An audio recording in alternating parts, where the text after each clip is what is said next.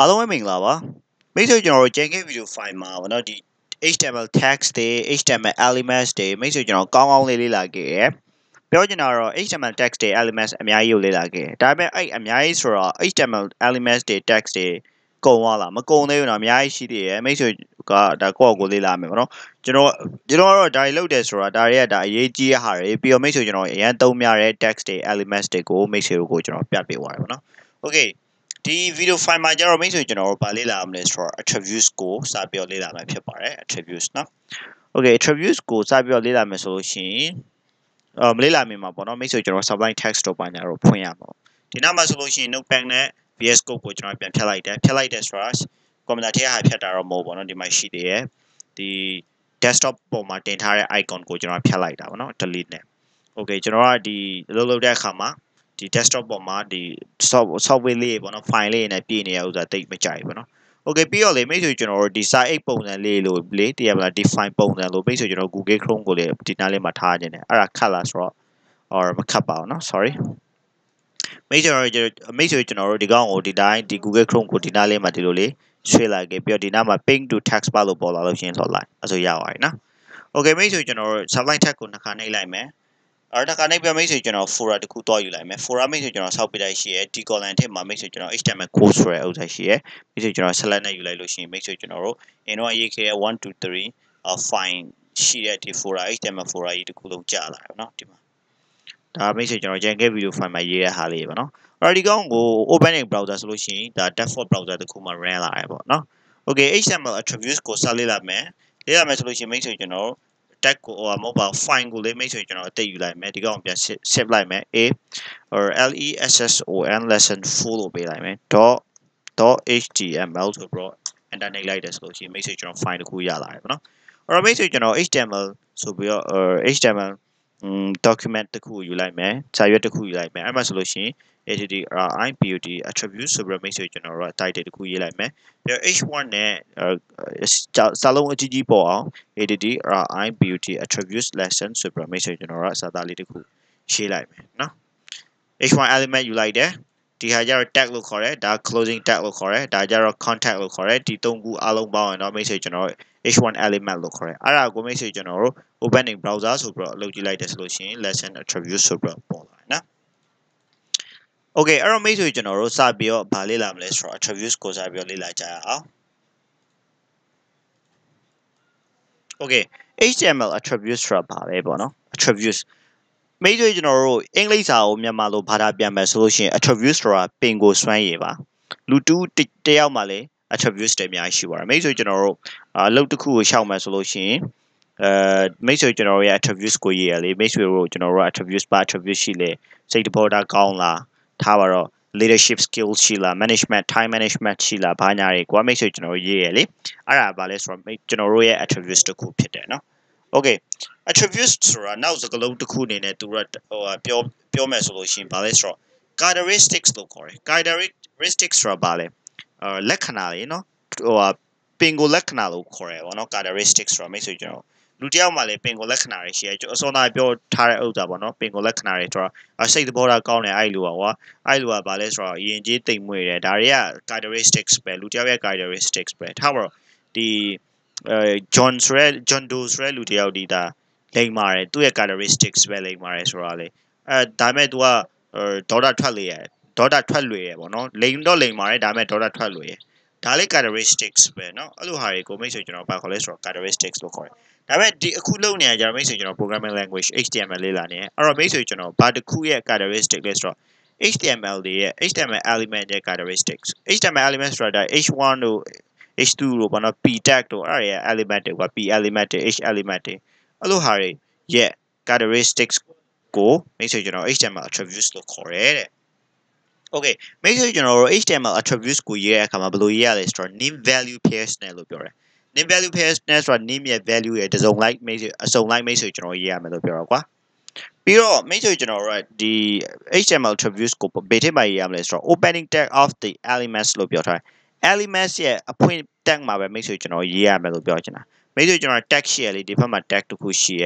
ဒီဘက်မှာ tag တစ်ခုရှိရ tag တစ်ခုဆိုတာဒါကတော့ close tag ဒီမှာကျတော့ contact ဒါကြတော့ open tag လေနော် ID open tag ထဲမှာပဲမိတ်ဆွေကျွန်တော်ရေးပေးရမယ်လို့ပြောရဲဘာလို့လဲဆိုတော့ဒီ HTML attributes ကိုနော် Okay မိတ်ဆွေကျွန်တော်တို့ဒါအဲ syntax လေးကိုကြည့်ကြည့်အောင်ကဒါပြောနေကြတယ်ဗောနော်အဲ့မိတ်ဆွေကျွန်တော်တို့ဒါ p tag ဆိုတဲ့ဒီ p element တစ်ခုရှိရထားပါတော့မိတ်ဆွေကျွန်တော်တို့ကဒီ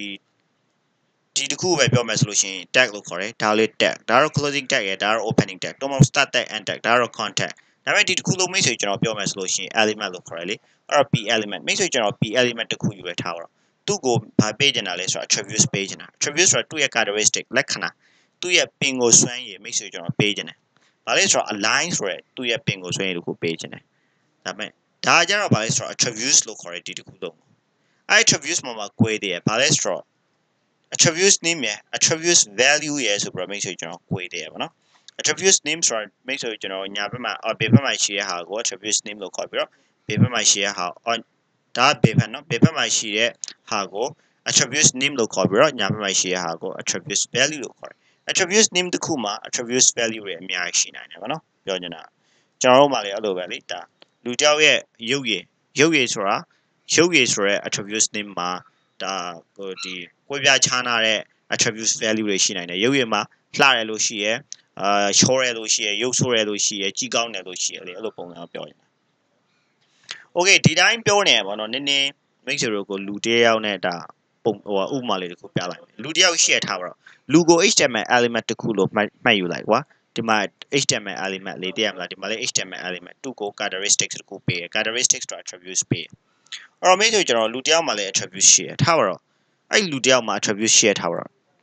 race သူ့ရဲ့လူမျိုးကဘာလဲဆိုတော့ Burmese ဒါလေးဘာလဲဆိုတော့ attributes တစ်ခုပဲသူ့ရဲ့ပင်ကိုစွန့်ရည်သူ့ရဲ့လက္ခဏာတစ်ခုပေါ့နော် race Burmese ဒါနားလေအောင်တာရေးတာပေါ့နော်တကယ်ကျတော့ attributes လူတယောက်ရဲ့ attributes ဆိုတာဒါစိတ်တဘောတာကောင်းတယ်တို့ပြီးတော့ဗာလဲဆိုတော့ဉာဏ်ကောင်းတယ်တို့ဒါ attributes လူတယောက်ရဲ့ attributes ပြီးတော့ဗာလဲဆိုတော့ leadership skills ရှိရတို့ management skills ရှိရတို့ပေါ့နော် intelligence တို့အဲ့ဒါတွေက attributes လို့ခေါ်တယ်ဒါပေမဲ့ကျွန်တော် name ဒီဘက်မှာ name ဒီဘက်မှာ value ဆိုပြီးတော့မြင်လို့ရအောင်ဒါဒီတိုင်းရေးရပါတော့တချို့ example လေးနဲ့ race က Burmese ဒါလေး attributes ပဲပြီးတော့ skin color skin color bronze အညိုရောင်လေးပေါ့နော်ပြီးတော့ language က Burmese ရယ် English ရယ်တိလားဒီ attributes name တစ်ခုမှာဒီ value တွေ attributes value တွေနှစ်ခုသုံးခုရှိလို့ရတယ်လို့ပြောရင်နော်ပြီးတော့ဘာလဲဆို look သူ့ရဲ့အယုတ်ကဘာလဲဆိုတော့ beautiful လှတယ်ဒါပေမဲ့ရုပ်ဆိုးတယ်အများကြီးပြောလို့ရတယ်ပေါ့နော်ဒါလူတစ်ယောက်ရဲ့ဘာလဲဆိုတော့ attributes တစ်ခုကို make sure ကျွန်တော်တတ်မှတ်ပေးရပါ လူတစ်ယောက်ရဲ့ attributes ကိုတတ်မှတ်လို့ပဲ make sure ကျွန်တော်ကဒီ tag HTML tag ပေါ့နော် element တစ်ခုရဲ့ attributes ကိုလည်း make sure ကျွန်တော်တတ်မှတ်လို့ရတယ်ဒီမှာ align left okay align ဆိုလို့ရှိရင်ဒါစာစာကြောင်းတွေကိုညှိပေးရပါတော့မိတ်ဆွေကျွန်တော် Microsoft Word တို့လေ့လာလို့ရှိရင်သိပါတယ်နော်မိတ်ဆွေကျွန်တော် align မှာဆိုလို့ရှိရင် left ရှိရယ် center ရှိရယ် right ရှိရယ် justify ရှိရယ်စာကိုမိတ်ဆွေကျွန်တော်ဘယ်ဘက်မှာပဲညီစေချင်တယ်ဆိုလို့ရှိရင် left အလေအလေတိတိမှာထားချင်တယ်ဆိုလို့ရှိရင် center ညာဘက်မှာပဲညီစေချင်တယ်ဆိုလို့ရှိရင် right မိတ်ဆွေကျွန်တော်လုံးဝဟိုညာဘက်ကောဘယ်ဘက်ကောကုန်ညီချင်တယ်ဆိုလို့ရှိရင် justify ဒါတော့ Microsoft Word ရေးဖူးတဲ့လူကတည်ရယ်နော် Okay အဲ့တော့မိတ်ဆွေကျွန်တော်တို့ကဒီဟိုဟာလောက်ကြည့်ရအောင်ကုတ်နဲ့ရေးကြည့်ရအောင်နော်ထားပါတော့မိတ်ဆွေကျွန်တော်တို့က p-tag တစ်ခုရှိရထားပါတော့ p-tag p-tag မှာဆိုလို့ရှိရင်မိတ်ဆွေကျွန်တော်အမြဲတမ်းပါရေးလေ p ထဲမှာ lorem ဆိုပြီး paragraph ရေးမှာမိတ်ဆွေကျွန်တော်တို့က p ကိုတုံးတယ်လို့ပြောထားတယ်လေကျွန်တော် lorem 3ခု3ခါရေးလိုက်မယ်3ခါရေးရဆိုလို့ရှိရင်ဒီလိုလေးပေါ်လာ4ခါရေးလိုက်မယ်ဗျာ လေးကရေးလိုက်တယ်မိတ်ဆွေကျွန်တော် refresh လုပ်တော့ဒီမှာစာပိုက်လေးတစ်ခုကြာလာတယ်ဒီမှာနော်စာပိုက်လေးဒါပေမဲ့သူ့ကိုကြည့်လိုက်တဲ့အခါမှာ left ဘေးဘက်မှာညီနေပြီးသားတွေ့ရတယ်ဒီမှာတက်လာဘေးဘက်မှာညီနေပြီးသားတွေ့ရတယ်ညာဘက်မှာမညီဘူးအဲ့တော့မိတ်ဆွေကျွန်တော်တို့ဒီ p ကို attributes ပေးလိုက်မယ် attributes ဆိုတာပင်ကိုစွမ်းရည်သူ့မှာပင်ကိုစွမ်းရည်ရှိပြီးသားကိုပြန်ခေါ်မယ်ဆိုတဲ့သဘောကိုလေပြန်ခေါ်မယ်လို့လေပြောလို့ရတယ်သို့မဟုတ်သူ့ characteristics သူ့ရဲ့ characteristic သူ့ရဲ့လက္ခဏာ or ထူးခြားသောလက္ခဏာလို့ခေါ်ရလေ characteristics ဆိုတာ characteristic တစ်ခုကိုပေးမယ်အဲ့ဒါပါလဲဆိုတော့ align ဆိုတာ characteristics သူ့ရဲ့လက္ခဏာအဲ့ကိုဒီ align ကိုမိတ်ဆွေကျွန်တော် left လို့ပေးလိုက်မယ် left လို့ပေးလိုက်တယ်ဆိုလို့ရှိရင်ဘာဖြစ်သွားမလဲမိတ်ဆွေကျွန်တော်ကြည့်ရခါမှာဒီတိုင်းပဲဘာလို့ဆိုတော့သူ့ရဲ့ default က left ဘက်မှာညီနေရကွာအဲ့တော့မိတ်ဆွေကျွန်တော် right လို့ပေးကြအောင်အဲ့ဒါ IJT right right လို့ပေးကြရခါမှာမိတ်ဆွေကျွန်တော် refresh လုပ်တဲ့ခါမှာဒီမှာတက်လာညာဘက်မှာညီလာတယ်ဘေးဘက်မှာမညီတော့အဲ့ဒါကြတော့သူ့ရဲ့ align ဆိုတဲ့ attributes attributes name ကိုမိတ်ဆွေကျွန်တော် right ဆိုတဲ့ attributes value ကိုပေးလိုက်လို့ဒီလိုဖြစ်သွားတာအဲ့ တော့မိတ်ဆွေကျွန်တော် center လို့ထားကြည့်ရအောင် center center လို့ထားကြည့်လိုက်လိုက်တယ်ဆိုလို့ရှိရင်မိတ်ဆွေကျွန်တော်တို့က refresh လုပ်တယ်ဆိုလို့ရှိရင်ဒီစာဆိုလို့ရှိရင်ညာဘက်မှာလည်းမညီတော့ဘူးဘက်မှာလည်းမညီတော့ဘူးအလေတက်တက်မှာစုနေရပါတော့အဲ့ဒါ center လို့ခေါ်တယ်ဒါပေမဲ့မိတ်ဆွေကျွန်တော်စာပိုက်ကို GU STRF rank justify လို့မိတ်ဆွေကျွန်တော်ပေးလိုက်တယ်ဆိုလို့ရှိရင်ဘေးရောညာရောညီသွားတယ်ပေါ့နော်ဒါမိတ်ဆွေကျွန်တော် Microsoft Word ရဲ့အခါမှာလေးစာပိုက်တွေညီစေချင်တယ်ဆိုလို့ရှိရင် justify သုံးတယ်ပေါ့နော်အဲ့ဒါကို make sure ကျွန်တော် attributes ပေးရဲလို့ခေါ်တယ်နော်ဒါနားလေနော် tag ကို make sure ကျွန်တော် opening tag ရှိရ closing tag ရှိရဒီ closing tag မှာလာပေးမပေးပါဘူးလုံးဝမပေးပါဘူးဒီ start tag မှာပဲ make sure ကျွန်တော်ဒီ attributes ကိုပေးရတယ်နော် okay attributes ကားရတွေပဲရှိလားဆိုတော့မဟုတ်ပါဘူးအများကြီးရှိပါတယ်ဒါပေမဲ့ make sure ကိုကဒါတွေအကုန်တင်သွားမှာမဟုတ်ပါဘူးဘာလို့ဆိုတော့ make sure ကျွန်တော်တို့သူ့ရဲ့သူနဲ့သက်ဆိုင်တဲ့ lesson တွေမရောက်လာသေးဘူးပေါ့နော် မိတ်ဆွေကျွန်တော်ဒီမှာဆိုလို့ရှိရင် title ကိုတင်လိုက်မယ်ပြီးတော့ဗာလဲဆိုတော့ hidden ကိုတင်လိုက်မယ်ဒီနှစ်ခုပဲမိတ်ဆွေကျွန်တော်လေ့လာမှာဘာဖြစ်လို့လဲဆိုတော့မိတ်ဆွေကျွန်တော် height ဆိုလို့ရှိရင်ဘေး element မှာပဲသုံးလဲဆိုတော့ iframe တို့ imd တို့ input တို့ပဲ video တို့မှာပဲသုံးတယ်ဒါပေမဲ့မိတ်ဆွေကျွန်တော်ဒီတင်ခဲ့တာတွေမရောက်သေးဘူးအဲကြောင့်ねသူတို့နဲ့သက်ဆိုင်တဲ့တင်ခဲ့တာရောက်မှဒီ height တို့ width တို့တင်ပေးမယ် HIF လည်းအဲ့တိုင်းပဲ SRC ရော style ရော target ရော type ရောပေါ့နော်သူတို့နဲ့သက်ဆိုင်တဲ့တင်ခဲ့တာရောက်မှမိတ်ဆွေကျွန်တော်တို့ကတင်ရမယ်ပေါ့နော် Okay အဲ့တော့မိတ်ဆွေကျွန်တော်တို့ type တယ် type တဲ့ကဘယ် element မှာသုံးလဲဆိုတော့မိတ်ဆွေကျွန်တော် global attributes တဲ့ကိုကြိုက်တဲ့ element မှာသုံးလို့ရလို့ပြောရဲ global ဆိုတာနော်အဲ့တော့မိတ်ဆွေတို့ကမပြောသေးဘူးဘာလဲဆိုတော့မပြောထားသေးဘူး attributes တွေရှိရ HTML မှာဒါပေမဲ့အဲ့ attributes တွေကကိုကြိုက်တဲ့ element မှာသုံးလို့ရတာမဟုတ်ဒါပေမဲ့ဒီနေရာမှာကြည့်ရဆိုလို့ရှိရင် type တွေကိုကြည့်ရဆိုလို့ရှိရင် title ဒီဘောနော်ဒီမှာဒီ title ဒီသူကဘယ်နေရာမှာသုံးလို့ရလဲဆိုတော့အာ global attributes လို့ခေါ်တယ် global attributes ဆိုတာကိုကြိုက်တဲ့ element မှာသုံးလို့ရတယ် ကိုကြိုက်တဲ့ element ဘယ် element မဆိုဒါ p လေးဖြစ်နိုင်တယ် h1 လေးဖြစ်နိုင်တယ် hr လေးဖြစ်နိုင်တယ်အဲ့လိုပုံစံလေးပေါ့နော်အဲ့တော့ high ဆို high နဲ့ width ကြတော့ကိုကြိုက်တဲ့နေရာမှာပေးလို့မရဘူး p တို့ p တို့မှာပေးလို့မရဘူး h တို့မှာပေးလို့မရဘူး iframe တို့ imd တို့မှာပဲပေးရမယ်လို့ပြောတယ် hidden ကကိုကြိုက်တဲ့ attributes မှာဟို element မှာပေးလို့ရတယ်လို့ပြောတယ်ဘာလို့ဆို global attributes လို့ပြောထားလို့နော်အဲ့တော့မိတ်ဆွေကျွန်တော် hidden နဲ့ title လေးကိုတွားကြည့်ကြည့်ရအောင် okay hidden title ပထမဆုံးကြည့်လိုက်မယ် title ဆိုတာဘာလဲပေါ့နော် title ဆိုတာမိတ်ဆွေကျွန်တော်တို့တစ်ခုခုကိုပေါ့နော်ဒီကာစာထောက်လိုက်တဲ့အချိန်မှာပေါ်စေချင်တဲ့အချိန်မှာမိတ်ဆွေကျွန်တော်တို့အသုံးပြုပါထားပါတော့ဒီနောက်မှာ attributes attributes lesson ဆိုရဲခေါင်းစဉ်တစ်ခုရှိရဲ attributes lesson မိတ်ဆွေကျွန်တော်ဒီလိုကာစာလေးထောက်တယ်ဆိုလို့ရှိရင်စာသားလေးတစ်ခုကိုမြင်နေတာကွာမြင်နေတာဆိုတော့မိတ်ဆွေကျွန်တော်ဘာပေးရလဲဆိုတော့ attributes တစ်ခုပေးရတယ်အဲ့ attributes က title ပဲဖြစ်ပါတယ် title ဆိုပြီး attributes တစ်ခုပေးလိုက်မယ်ဒီ idea လေး title this is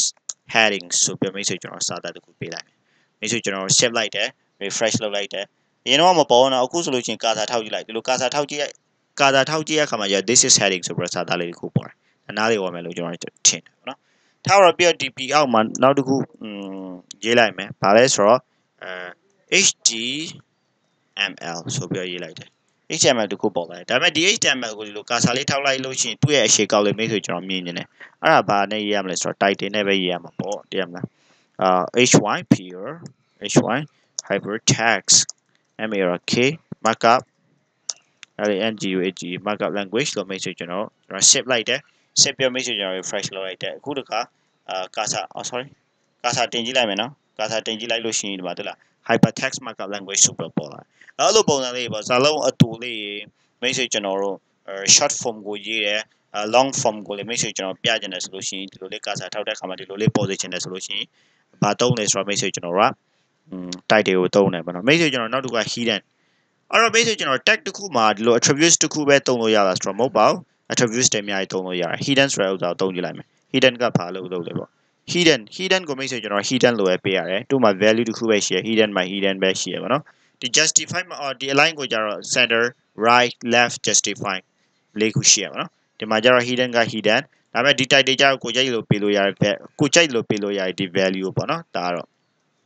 ဒီအားကြတော့ကိုကြိုက်လို့ပေးလို့မရပါဘူး hidden ဆိုလို့ရှိရင် hidden ပဲပေးရတယ်တွဲ value ဒီမှာလေးကိုကြိုက်လို့ပေးလို့မရပါဘူး align ကို justify တို့ left တို့ right တို့ပဲပေးရတယ်ပေါ့နော်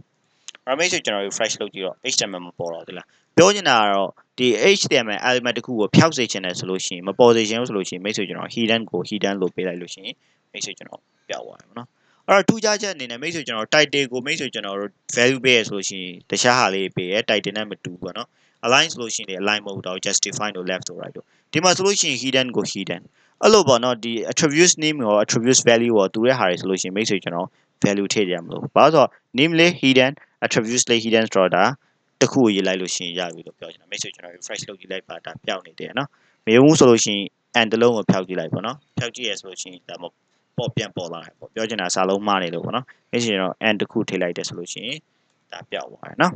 โอเคအဲ့တော့မိတ်ဆွေတို့ကဒါနားလည်မယ်လို့ကျွန်တော်ထင်တယ်တခြားဟာတွေကဘာလို့မပြရလဲဆိုတော့တခြားဟာတွေကသူနဲ့သက်ဆိုင်တဲ့ lesson A တို့ form တို့တင်ရမှာမိတ်ဆွေကျွန်တော်တို့ကလေ့လာမယ်ပေါ့နော် Stein ကလည်း global attributes ပဲဒါပေမဲ့သူလည်းဒီ Stein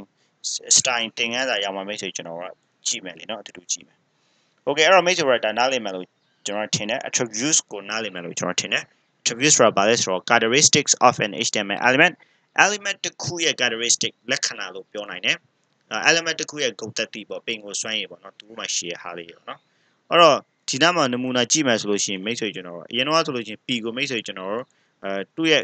ဟို characteristics သူ့မှာငကိုရှိနေတဲ့ပင်ကိုစွမ်းရည်ကိုမတုံးထားဆိုလို့ရှိရင်ဒီစာကြီးကအရင်အတိုင်းပဲပေါ့နော်ညာဘက်မှာမညီနေဘူးဘယ်ဘက်မှာပဲညီနေရအဲ့တော့အဲ့ဒါကိုညီအောင်လုပ်ချင်တယ်ဆိုလို့ရှိရင်သူ့မှာငကိုရှိတဲ့ပင်ကိုစွမ်းရည်တစ်ခုဖြစ်တဲ့ align ဆိုရဲ attributes ကိုတုံးပြရတယ်အဲ့ဒီ attributes ကိုမိတ်ဆွေကျွန်တော် justify လို့ပေးလိုက်တယ်ဆိုလို့ရှိရင်အဲ့စာသားဒါညီသွားတယ်ပေါ့နော် okay ဒီထက်အများကြီးပေါ့နော်ဒီ attributes တွေအများကြီးရှိသေးပါတယ်အဲ့ attributes တွေကိုမိတ်ဆွေကျွန်တော် တခြားသင်ခန်းစာမှာပဲလေ့လာရင်းနဲ့ပေါ့နော်ဖြစ်ဖြစ်ပြီးတော့မိတ်ဆွေကျွန်တော်ကြည့်မယ်ပေါ့နော် okay အားလုံးပဲ see you ပါနောက်ဗီဒီယိုဖိုင်မိတ်ဆွေကျွန်တော်တွေ့မယ်